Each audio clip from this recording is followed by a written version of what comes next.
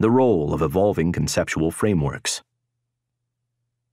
Several factors have led to widespread confusion or otherwise prevented consolidation of an updated evolutionary synthesis before now. 1. Our empirical understanding and detailed knowledge of the gene have improved considerably, but the earlier understanding dominates the conceptual framework. 2.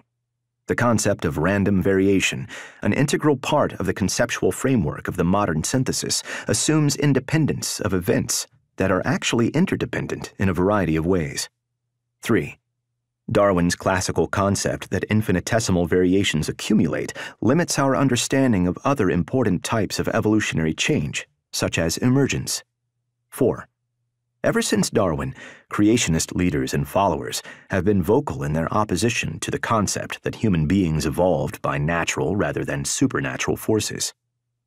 5 creationists have unwittingly or deliberately sown confusion with false statements including, but not limited to, evolution is just a theory.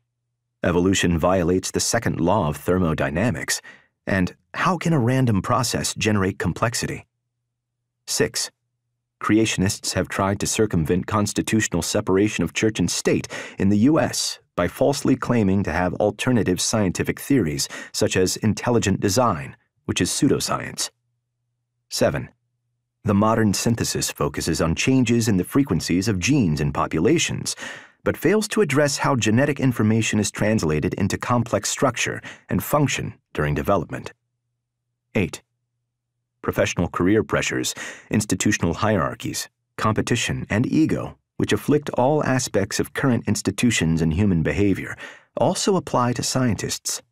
Consequently, some scientists are so eager to claim credit for disproving a theory or proposing a revolutionary new theory that they tend to accept specific specialized points of view to the exclusion of others, rather than focusing on proven factual information. 9.